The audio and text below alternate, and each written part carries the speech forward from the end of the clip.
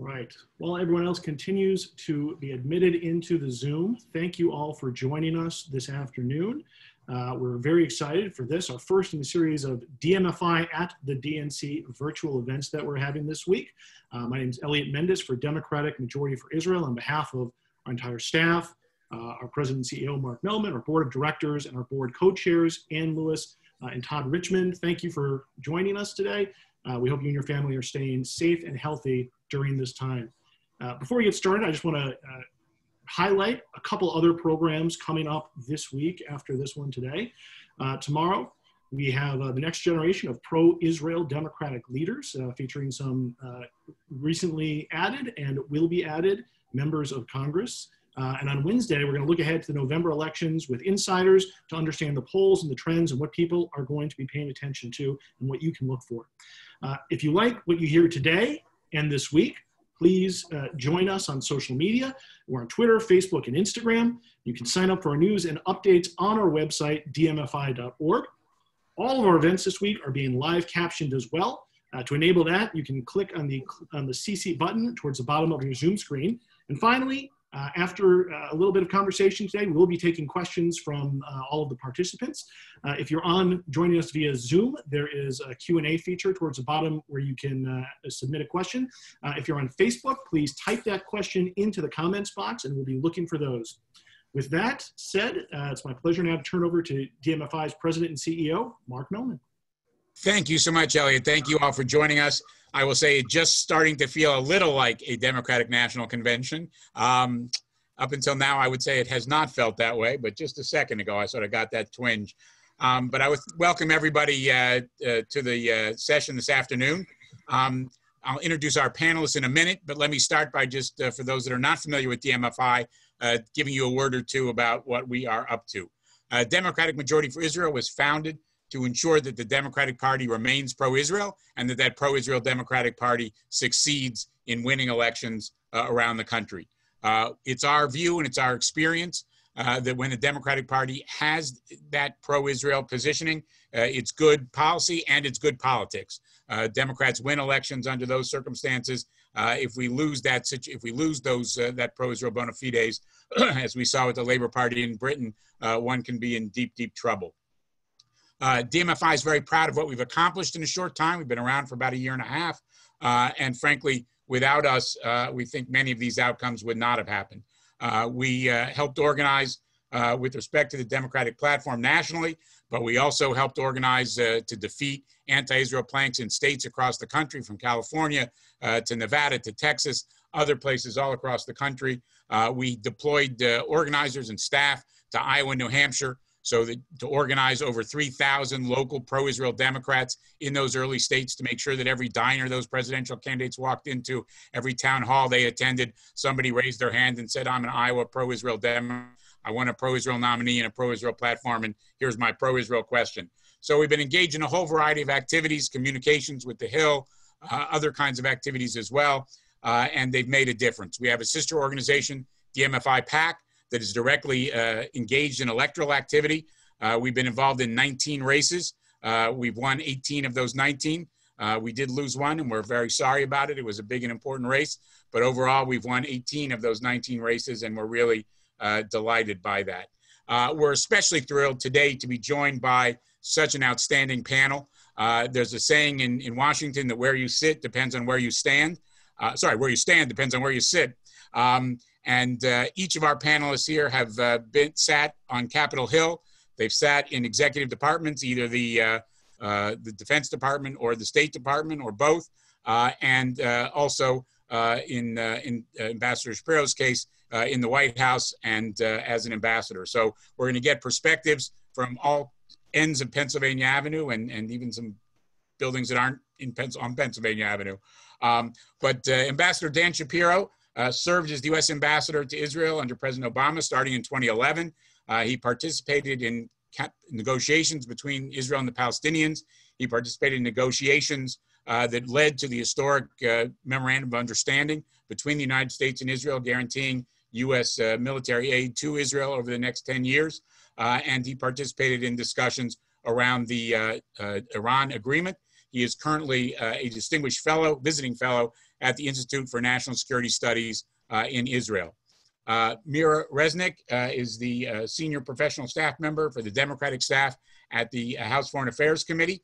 Uh, she is the person in the House of Representatives, the staff person on Israel in the U.S. House of Representatives, uh, and she has worked previously at the State Department um, and uh, in various capacities, and is obviously an expert on our issues as well.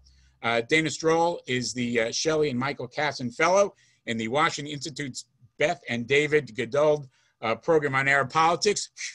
Uh, I got that out. Uh, she previously served uh, in a similar capacity uh, to Mira, but for the Senate Foreign Relations Committee as a, a senior member of the professional staff there covering the Middle East. Uh, before going to the Hill, she worked and, on Middle East policy in the Office of the Secretary of Defense. So again, we have a variety of perspectives, a variety of experiences among people who are extremely helpful to us, and we're delighted uh, that Dan and Mira and Dana were able to join us and willing to join us this morning uh, at a very critical time in the U.S.-Israel relations, at a very critical time in the Middle East. And I know it will be illuminating an illuminating discussion. Let me turn back to Elliot to get us started. Mark, thank you very much. And again, thank you all for being here. And thanks to everyone who has started submitting questions. Uh, let's start, which I think is what's on the top of everyone's mind. Had we had this meeting a week ago, we would have been in a very different place. Um, but uh, Ambassador Shapiro, we've had a few days now and you're on the ground.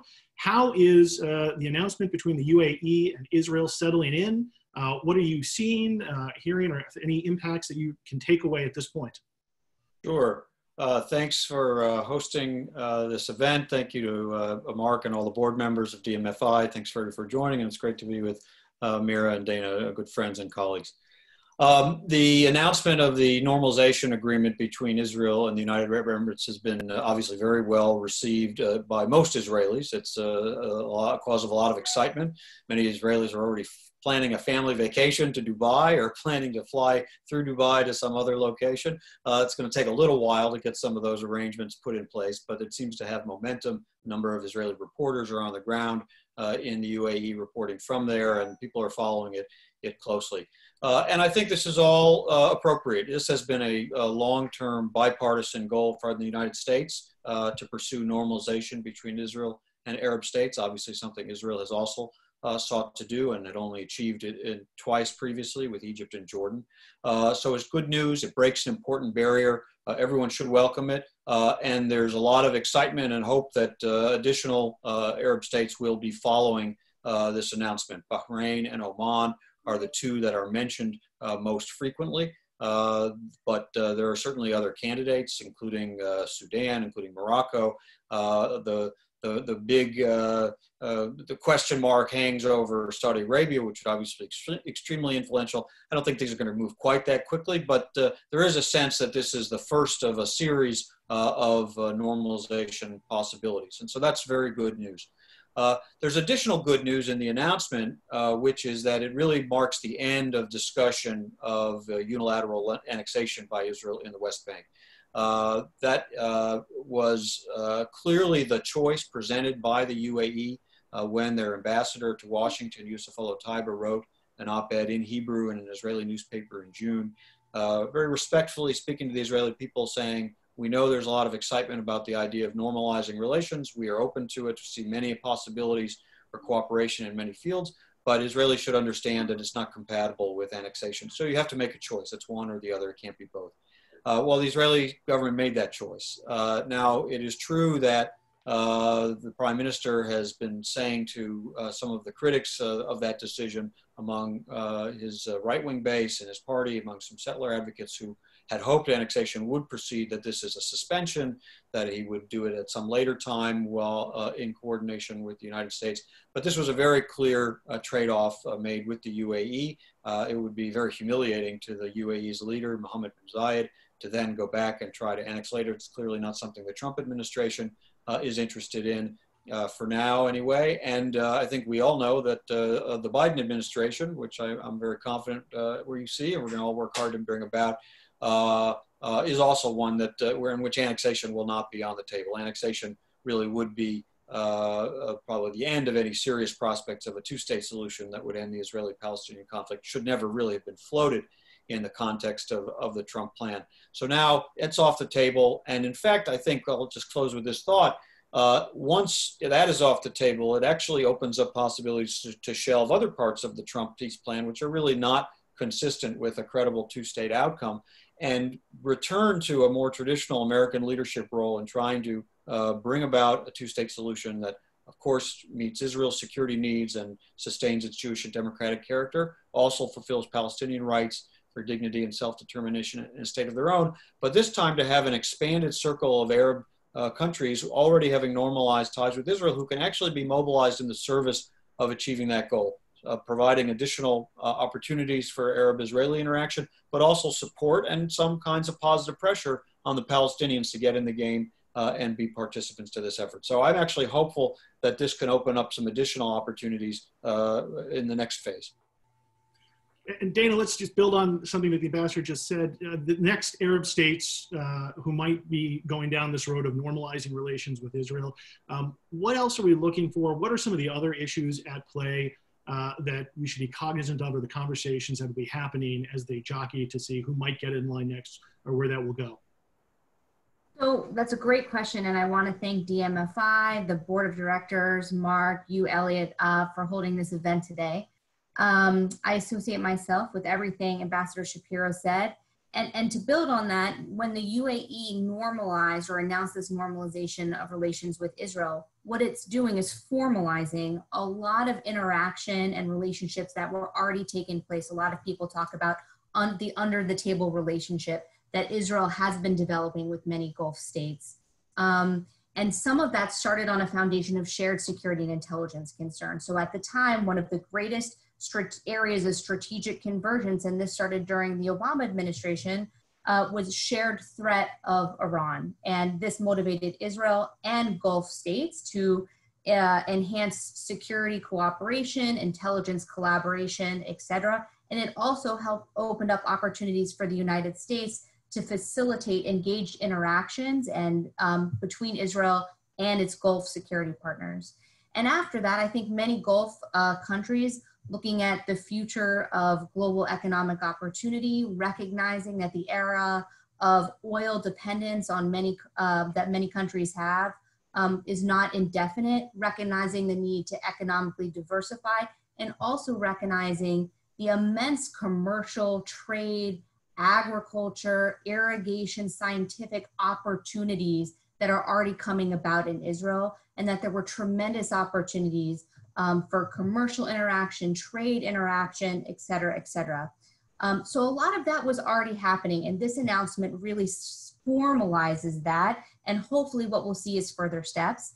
And it's also not unique to the Arab Emirates. So we know that there are um, already some very positive economic interactions between Oman and Israel, between Bahrain and Israel, there's a lot of reports of, of interest in, in both the Saudi private sector and the Saudi government by increased interactions with Israel. We know that the Qataris already interact very extensively with Israel. There's a history of trade representative offices, represented, represented offices, and also we know that there were some very big milestones coming up this year, such as the World Expo 2020 in Dubai. Now it'll be 2021. Israel was going to have a booth at that World Expo. Qatar is hosting the World Cup in 2022. An Israeli team is, is supposed to be there in 2022, as well as potentially Israeli fans. So a lot of this regional tide was already moving. Um, and you can see that these relationships were already developed given how fast some agreements have already been signed since the normalization announcement. So over the weekend, the UAE and Israel signed um, an agreement on medical collaboration for rapid COVID 19 testing. So you can see where these shared convergences are. So going forward, as Ambassador Shapiro mentioned, there's interest from Oman. There's speculation that Oman or Bahrain might be next. And I think both these governments and the people are going to be looking at how fast the two governments and the two people can deliver on the promises of what this is. And also, the United States played a big role. So, for the UAE, there seems to be um, interest in moving forward with certain weapon sales from the United States that previously the US would have been hesitant to sell to the UAE because of a commitment to ensuring Israel's military edge. So, if there's this burdening, um, burgeoning trust between Israel and its Gulf neighbors, then perhaps some of these Gulf countries can have access to more sophisticated weapon systems, and this would be another motivator to move forward. So I think what everyone in the region is going to be looking at as the UAE and Israel move forward is um, what are the mutual benefits commercially, um, agriculturally, scientifically, medically, and of course, what else does it get you here in the United States in terms of support, weapon sales, access, bipartisan praise, etc. Thank you, Dana. Uh, Mira, how is uh, how is this deal being uh, interpreted on the Hill, especially uh, on the Democratic side, where annexation had taken up so much oxygen uh, over the last little bit, and now uh, it's been suspended, it's off the table. Um, how is that going to impact the Democrat Democrats' relationship with the U.S.-Israel relationship throughout the rest of this year and into next? Thanks for the question, um, and thanks Elliot and Mark for holding this uh, this panel today. It's a great way to kick off the convention and a great way to celebrate democratic support for strengthening the U.S.-Israel relationship.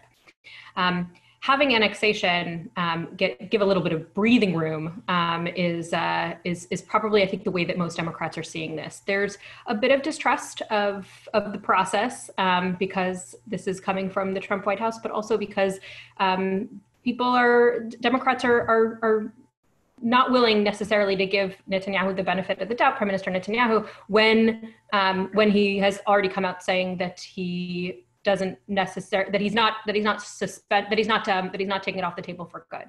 Um, but this absolutely gives Netanyahu a way out um, to not go forward with annexation. Um, this gives him a reason not to do it, and I think that that is something that is um, that is uh, really something to celebrate here. Um, that uh, that this has always been a quiet relationship in the past, and I think that um, members of Congress um, who have traveled to the UAE, who have traveled to Israel, understand. Um, you know, we were on a we were on a CODEL once um, where um, where we uh, ran into a very high-ranking Israeli um, ambassador on his way to Dubai. So this is this has always been something that's in the background. But um, but it was a cold peace. Uh, it, but but the rest of the pieces have been a very cold peace, and I think that the expectations for the UAE, um, because they've had a um, a cold non-peace in the past, um, and because the UAE has been very forthcoming with um, with information about these kind of things, um, it would be great if if they can start to convince their people, unlike some of the cold peaces that Israel has um, in the region. It would be great if they could uh, if they could really show that a relationship with Israel is in the country's interests, is in their economic interest, in their commercial interest. Um, really demonstrate the value of of this of this peace deal. And um, as Dan said, then to be able to put pressure on Palestinians. And I think that's where Democrats on the Hill would like to see this go, um, because um, they don't see a um, uh, an end to this conflict without a two-state solution, and um, and that a two-state solution is um, is the is is a, is a is a goal that is on the horizon, um, and that we would like to see the Palestinians get back to the negotiating table.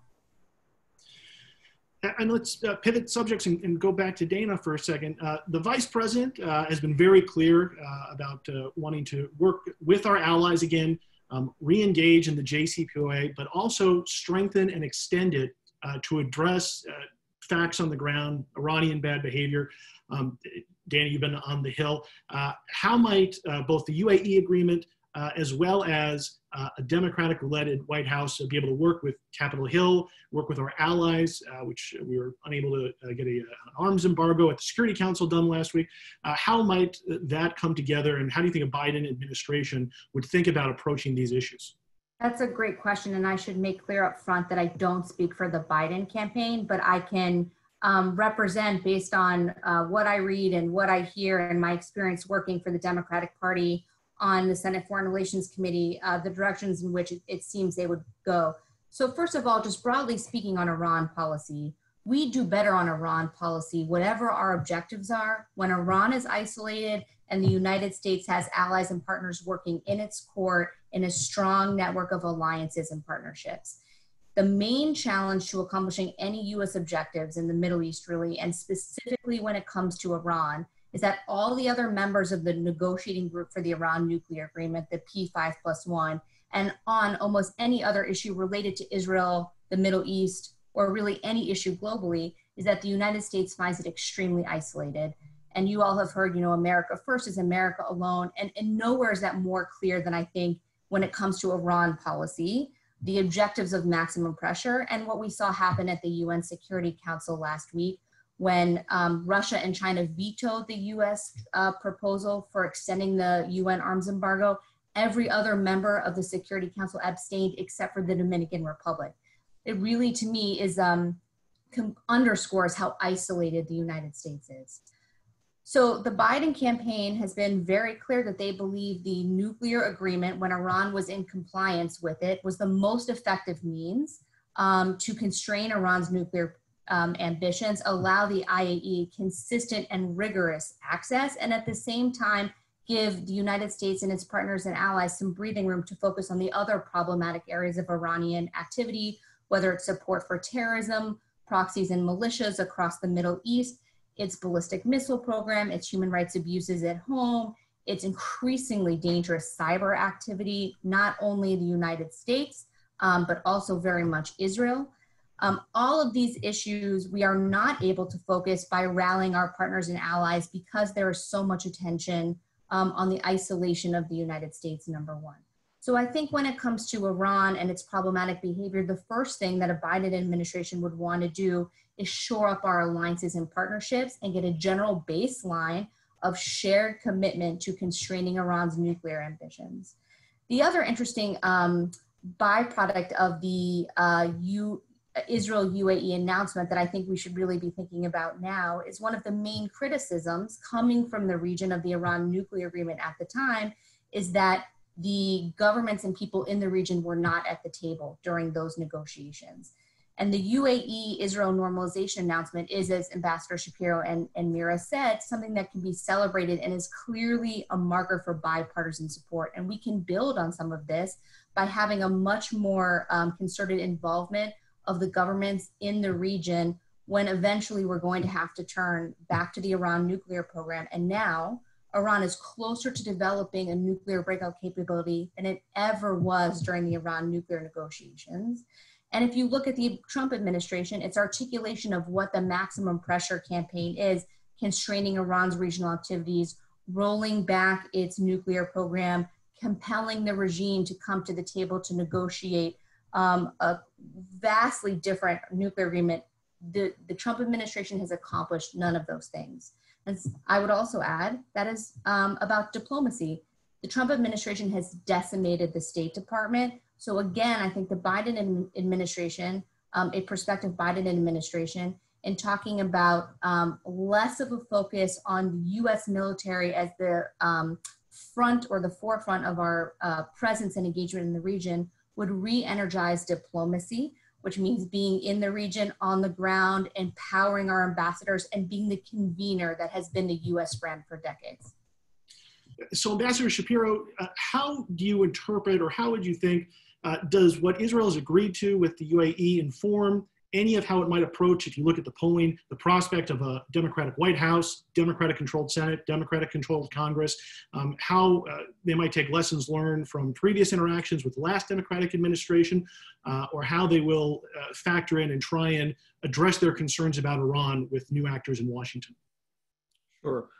Well, uh, uh, it, it, of course takes uh, some uh, po other points of tension uh, out of the discussion, particularly uh, the discussion around annexation, and it creates an opening for a different kind of U.S. role, trying to re-energize a regionally supported Israeli-Palestinian peace process. and that would be of value, even though it's not directly related to Iran. It would show, again, a kind of a, a, an alignment of regimes and, and governments in the region uh, affiliated with the United States, all seeing Iran as a threat, all working together toward the end of another conflict that has festered for, for many decades. Um, and that would additionally help with the isolation uh, uh of Iran that, uh, that Dana referred to. Now, look, uh, none of these governments that uh, are immediately being, we're immediately talking about Israel or several of the Gulf states uh, were necessarily huge fans of the joint, uh, of the JCPOA. Uh, and they had their criticisms, obviously, Prime Minister Netanyahu was open about his uh, in his speech in Congress. Gulf states were a little more uh, subdued in how they spoke about it, but they certainly shared some of those criticisms and, and definitely the alignment of interest that they feel between Israel and the Gulf states about the Iranian threat is a major reason uh, that this normalization deal has, has come about. Uh, again, I don't speak for the Biden campaign, but I think what they have, they have said clearly is that they have always viewed the JCPOA as it was uh, and any attempt to return to that uh, form of, of diplomacy, whether it's as a pathway through a uh, JCPOA in which both sides have come back into compliance, which is very questionable whether Iran will be able to get back into compliance, or whether to look past the JCPOA. That was only really the beginning of the diplomacy toward Iran on its nuclear question, on its nuclear and other uh, threats that it poses, and that it was always the expectation uh, of the Obama Biden administration and it would be of a Biden Harris administration that uh, there needs to be additional diplomacy. It needs to be multilateral. It needs to be with in, co- in coordination with allies who, at the moment, are not uh, working together with us. It will have forms of pressure associated with it, including sanctions, and we have to acknowledge the success, uh, at least on terms of the economy, uh, economic pressure that had been lodged against Iran during this period of uh, of, of, sanctions. Uh, in order to uh, get a, a longer and a stronger and a broader uh, nuclear deal that will uh, build on what the JCPOA achieved, which was a 10 to 15 year, year, year deal, keeping Iran at least a year from a nuclear weapon, which of course they're now less than, as Dana said, because they, they're not in compliance, but build something that will have uh, longer timelines, that will have even tougher inspection protocols, that will keep raw materials and other uh, uh, other technologies out of Iran's hands, that will uh, apply to the ballistic missile program and use all of that in, in the hope uh, in the hopes of, of, of, an even broader regional uh, approach that will help uh, isolate and restrain Iran on the other non-nuclear uh, uh, dangerous activities it's involved in, the sponsorship of terrorist organizations, the uh, in, uh, uh, involvement of uh, uh, in the civil wars uh, and politics of its neighbors. So there is an opportunity here. It doesn't mean that everybody will agree exactly on the approach, but we don't need to say because there was disagreement about certain aspects of the JCPOA in 2015, there is not an alignment of interest. I think there very much is between the U.S., between our regional partners, Israel, UAE, Saudi Arabia, and others, and our European partners and others to uh, build on what the JCPOA achieved, get that longer, broader, stronger agreement, uh, and hit, tackle the other threats Iran poses. And Samira, uh, again on the Hill, uh, we know there's frustration that this administration, the, currently in the White House, has gone it alone, uh, not only not working with our allies internationally, but not working with our allies uh, down the road. what kind of receptivity do you think that a Biden administration will find in 2021 uh, for Democrats on the Hill to re-engage and to partner with the new administration uh, on these issues? Thanks for the question. And um, I am a, a, watcher of Democrats on the Hill, although today I'm not speaking for any particular Democrat on the Hill. Um, I think that uh, Democrats, I, I, I notice that um, Democrats notice that Iran is more dangerous today than it was when Trump was uh, was inaugurated. That Iran is closer to getting a nuclear weapon today. Um, it is spinning more centrifuges. Its enrichment capacity is way higher. Um, Dan mentioned the timeline. Um, we are closer than we have been in a long time to an Iranian nuclear weapon, and that is under Trump's watch. And Democrats on the Hill will celebrate the day when they get to have a president that is going to keep America safer um, and our allies safer. And um, uh, to me personally, that uh, that person is unquestionably Joe Biden. Um, we also need a Congress that can be counted on to fully fund our diplomatic priorities, so that uh, President Biden can restore U.S. leadership in the world. Um, for Democrats on the Hill, there is no hope for the Trump administration. Um, the, the Trump administration can talk a big game, but they can't get anyone on board with them. Um, and I think that that was, um, as Dana said, we saw that in, in, uh, in, in, the vote last week. Um, their go it alone strategy hasn't worked, and, um, and it, uh, it hasn't made us any safer. Great, thank you. All right, we're going to start uh, with the questions, the multitude of questions that have been submitted in, but please uh, uh, keep them coming uh, for now. Uh, let me just, someone wants to know, someone noted the variety of experience that we have sitting here on this panel, both sides of the Hill, as well as the executive branch and other agencies. Um, let me, I guess, Ambassador, start with you and your experience. Uh, in Democratic administrations, uh, how much does uh, the perspective on the U.S.-Israel relationship uh, differ depending on which branch you're you're sitting in? Uh, in a, yeah, potentially in January. Uh, which which department of the government, or between the Hill and the executive branch? either, however you'd like to interpret yeah. that question. Okay. Uh, look, I, I, would say that uh, what uh, the victory of Joe Biden in the primaries uh, means, and what was really evident in the platform process, which I participated in as a member of the platform committee on behalf of the DNC, uh, was an articulation of what are very, very broadly held near consensus positions within the party. Uh, you can't say everybody, obviously. It's a big tent party, and there are a range of views that will always be heard. But if you look at what uh, the positions that Vice President Biden and I would add uh, Senator Harris have, have laid out, uh, if you look at what's in the Democratic Party platform, if you look at two resolutions uh, that passed the House of Representatives in the last year, which obviously Mira worked very hard on along with many colleagues, uh, they uh, that that received broad, very close to unanimous, not a, maybe unanimous support uh, from uh, from Democrats in the House. Uh, and you look at similar expressions from a wide range of senators and the uh, large numbers of uh, Democrats in both houses, as well as the vice president who spoke on the issue of annexation. What you find is that you have really the broad consensus. That is an absolute commitment to Israel's security, an absolute commitment to Israel's legitimacy, an expectation that the United States will be a leader in ensuring both of those, obviously by fulfilling uh, the commitment of the uh, MOU of $38 billion that was signed during the Obama Biden administration and ensuring Israel's qualitative military edge against any threats it faces, and being a partner, being a real uh, integrated security partner in intelligence and technology and military training and all the other ways we work with Israel in standing up uh, to any challenge to Israel's legitimacy, whether it's at the United Nations, whether it's uh, in other international institutions, whether it's in the BDS movement at home,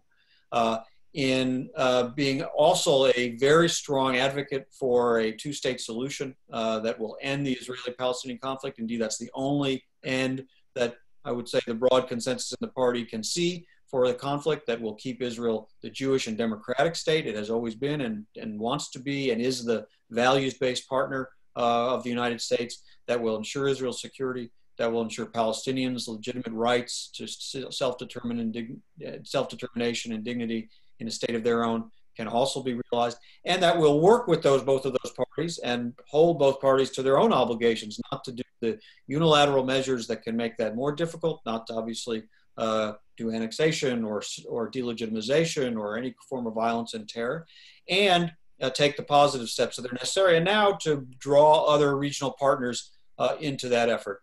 Uh, all of those uh, uh, actors in the party see significant errors that the Trump administration has made in essentially cutting off diplomatic contact with the Palestinians. You can't really be the mediator in a conflict if you can't talk to one side of the conflict closing a consulate that dealt with the Palestinian Authority, uh, cutting off all streams of assistance, uh, including economic and humanitarian assistance and assistance that, that supports uh, critical uh, security cooperation between Israel and the Palestinian Authority. These are things Israelis have wanted. These are things that U.S. law permits, uh, even with the Taylor Force Act, which is also broadly supported, including by the Vice President.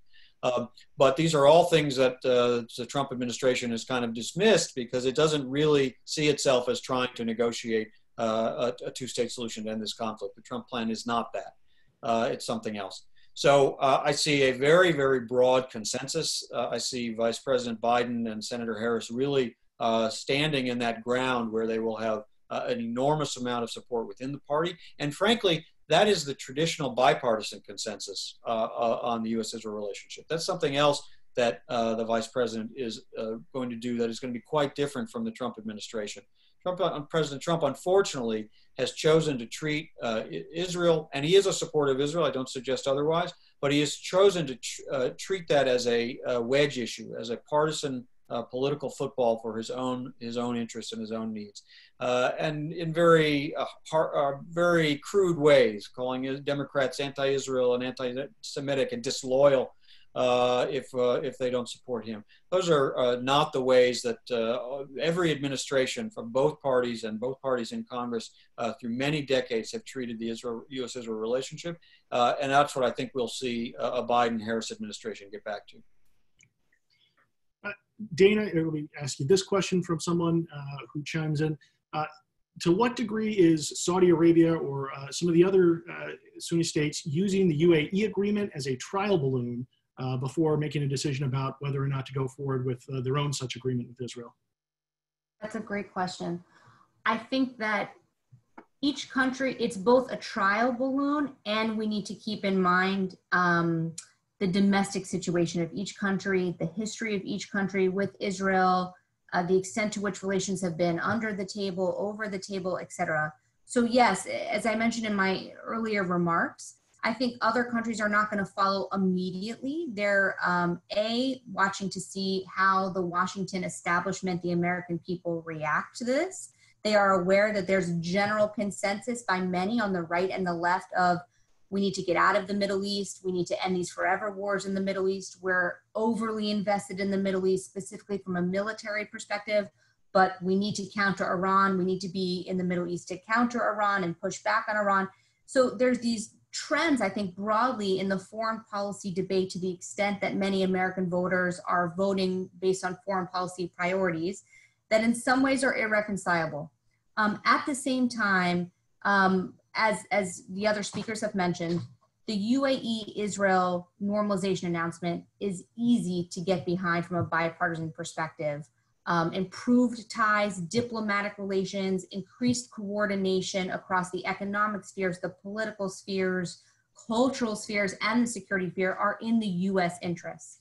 Um, so, so each country, though, has its own domestic priorities. When it comes to Saudi Arabia, uh, King, King Salman um, has very much identified with the Palestinian cause and in previous times in the past year has has not specifically endorsed the Trump vision for a peace plan.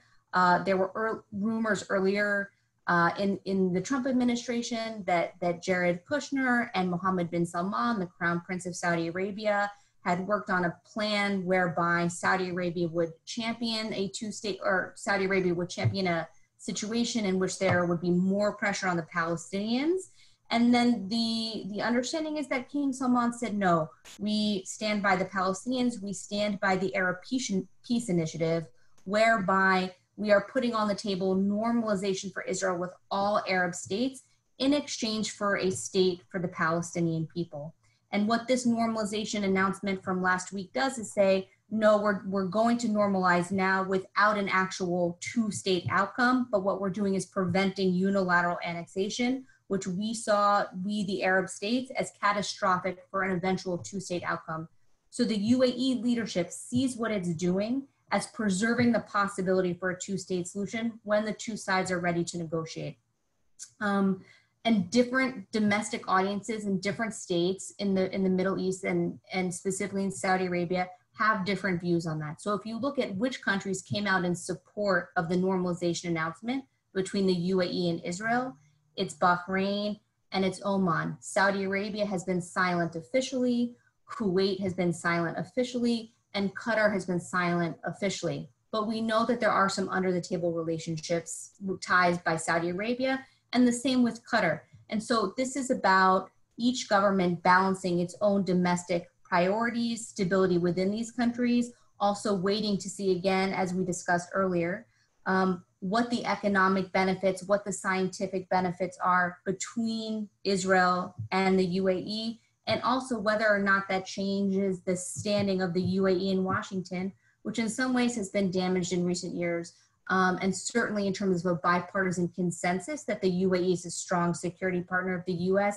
that is very much being questioned right now in Congress. And so, again, this is not just about what the executive branch supports, it's about how we can take the promise of this normalization and whether or not it can be moved into something that can expand bipartisan support, um, whether it can get congressional support for improved arms sales, ways in which the United States can facilitate increased ties between the US and Abu Dhabi, et cetera. So to get back to the original question, I think it is in some ways a trial balloon, but we also need to be very cognizant of the domestic constraints in many of these countries that may mean that while they're happy to continue deepening those ties under the table, some publics may not be ready just yet for over the table, on top of the table.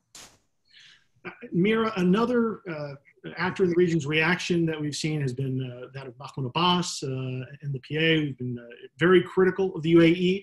Um, we also have to be cognizant Mahmoud Abbas is 84 years old. There's lots of questions about what succession might, might look like. Uh, how might this agreement with UAE move that next generation of Palestinian leadership, either for or against uh, normalization, uh, peace with Israel? Um, and are there other factors going on within the Palestinian leadership that we should be paying attention to? I think polls um, polls generally show that there is still support for two-state solution among Palestinians. Um, I think what has been missing from um, the from previous negotiations has been popular demand, and I think it's really up to um, the United States, to our allies, um, to make sure that there's popular demand in both places um, for um, for a, for the kind of two-state solution agreement. Um, Congress is working right now on that as we speak with the Middle East Partnership for Peace Act, um, which is um, sponsored by Nita Lowey and Jeff Fortenberry. It is a bipartisan bill that would um, provide money to those groups who seek to build dialogue between Israelis and Palestinians and spur economic development among Palestinians. These steps can absolutely pave the way for acceptance of one another.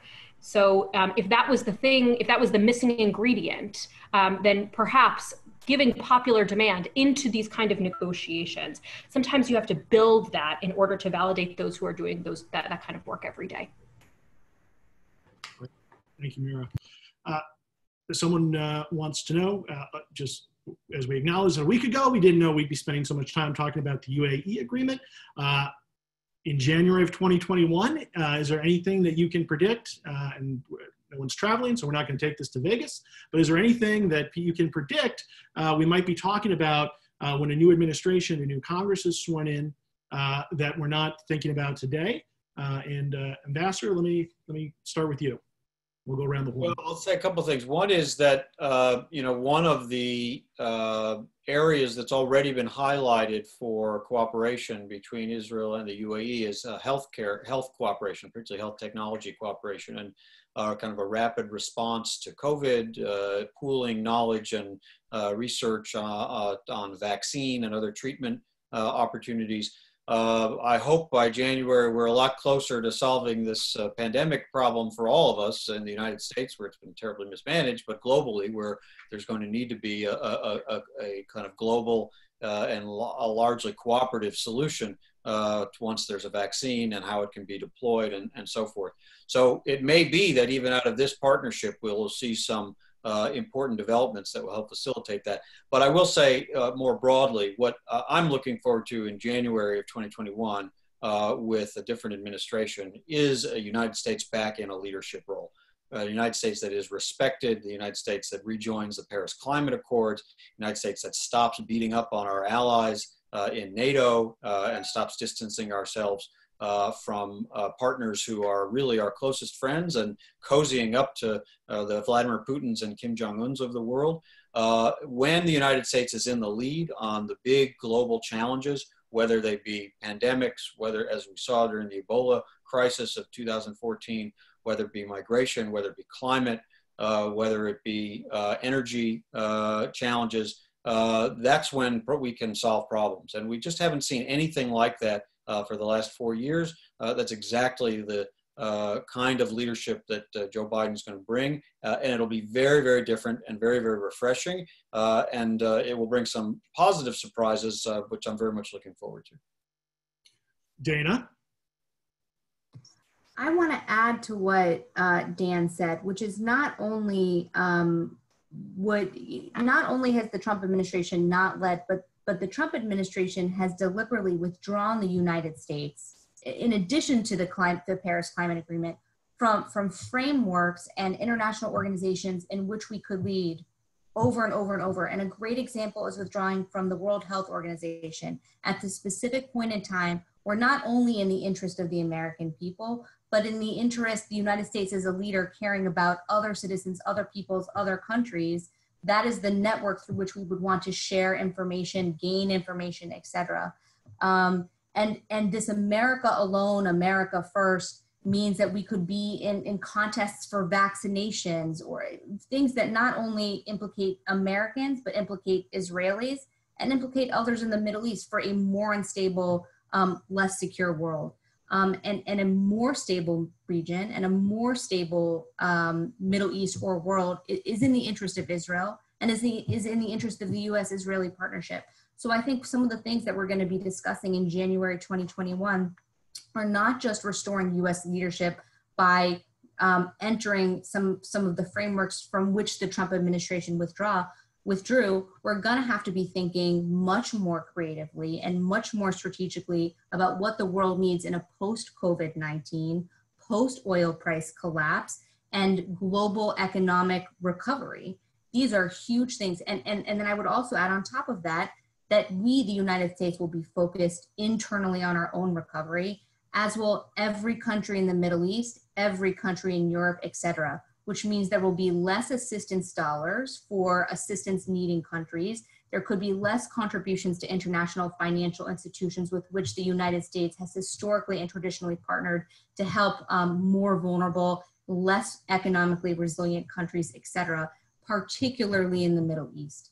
So if you look at all of Israel's neighbors right now, for example, all of them are at a, at a peak of instability as they attempt to respond to COVID 19 and the global recession and security challenges jordan egypt lebanon etc so we're going to have to be thinking and debating and this will require both a biden administration and congress having frank discussions about what the united states role can be if there's less assistance dollars from us less assistance dollars at international organizations.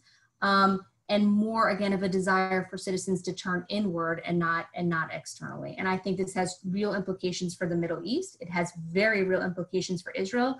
And what it's going to take is an administration the biden administration to stand up and not only advocate for us leadership in the region and on behalf of israel but to actually work hand in hand across the aisle in congress which is something that you haven't seen from the trump administration Bills only pass Congress when there's bipartisan consensus, which actually requires leadership and planning and execution. And Mira, final question to you. Yeah, thank you. Um, well, I join my colleagues in their hope for U.S. leadership. I would also note that um, October is when the Iran arms embargo um, expires, and by January we may see the uh, we may see the consequences. Um, we may see new arms deals um, between Iran and others, um, both to and from Iran, and and I think that that will be that will loom large on the uh, on the on the plate of the of the new Biden administration, trying to figure out how to how to get Iran to be in compliance with, with the nuclear deal and how to make sure that Iran is not, um, is not buying and selling weapons all over the globe, which um, has, has real consequences for Israel and for other allies around the world. Thank you, Mira, and thank you uh, to all of our incredible panelists for being here for this conversation today. We're uh, truly fortunate to have friends and allies like you in the fight uh, for a strong pro-Israel Democratic Party. Uh, we hope you all remain uh, safe and healthy. Uh, I'm going to turn it over now to another one of our board uh, members from Chicago, Illinois, Mark Gerstein, to close us out. Thanks, Elliot. And let me reiterate our deep appreciation to the ambassador, Dana and Mira, for that tremendous discussion. Um, and thanks to all of you for joining us with your questions and participation. As you, as you heard from Mark Mellman at the top of the call, DMFI is the only organization fighting to ensure the Democratic Party remains strongly pro Israel. Uh, as a founding member of the board of DMFI, I've had the opportunity to watch it play this unique role with incredible efficacy and efficiency uh, throughout the political cycle uh, during the presidential primaries, uh, during state platform debates, key Democratic pr- congressional primaries, and most recently in the thick of the drafting, debate, and negotiation uh, for the Democratic Party's platform on issues concerning the Middle East. Um, throughout this cycle and these processes, we've faced challenges from those who at turns have sought uh, to, to weaken the Israeli relationship with the United States and the longstanding Democratic Party support for Israel. Um, if you also are committed to overcoming uh, those challenges and achieving those goals, we ask you to join our work. Um, while you're already in front of a screen, uh, please go to dmfi.org to sign up for more information, to receive invitations to our programs throughout the year, and to make a donation. Uh, you can also reach out to Elliot, uh, uh, to Mark Mellman, and other board members through our website, or send us a note at info at dmfi.org. Thank you again. We hope to see you uh, on our DNCA programs, DNC programs tomorrow and throughout the rest of the week.